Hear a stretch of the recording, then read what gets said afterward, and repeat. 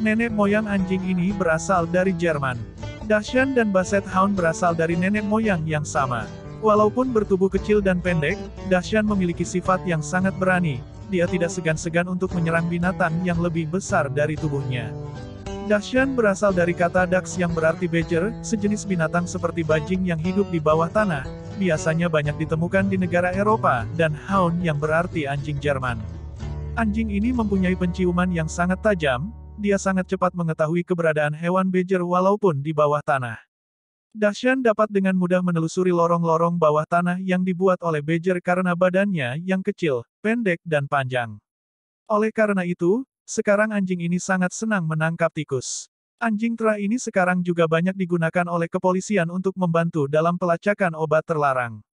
Selain nama Dachshund dan tekel anjing ini juga dikenal dengan nama anjing sosis di seluruh dunia karena tubuhnya yang panjang seperti sosis. 2. Paling agresif. Kalau kamu mencari watchdog atau anjing penjaga, Dachshund adalah jawaban yang tepat. Dia memang dikenal sebagai anjing yang hyper alert alias terlalu waspada. Dia akan terus menggonggong sampai kamu tahu ada orang di gerbang rumahmu, atau ada orang yang lewat di jalanan depan rumahmu. Faktanya, sebuah penelitian tahun 2008 yang dimuat di Applied Animal Behavior Science mengatakan kalau Dachshund adalah anjing ras yang paling agresif.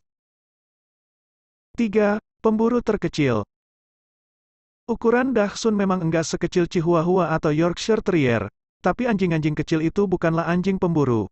Sedangkan Dachshund adalah anjing pemburu dengan ukuran tubuh paling kecil, tinggi miniatur Dachshund hanya 12-15 cm, sampai bahu, dengan berat maksimal 5 kg. Sedangkan standar Dachshund tingginya 20-23 cm, sampai bahu, dengan berat 7-14 kg. 4.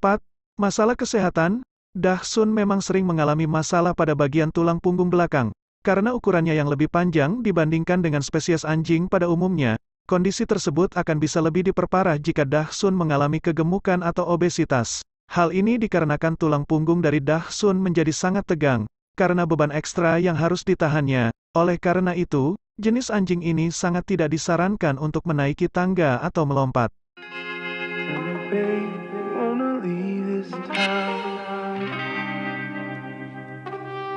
say it. Love it if you wanna go.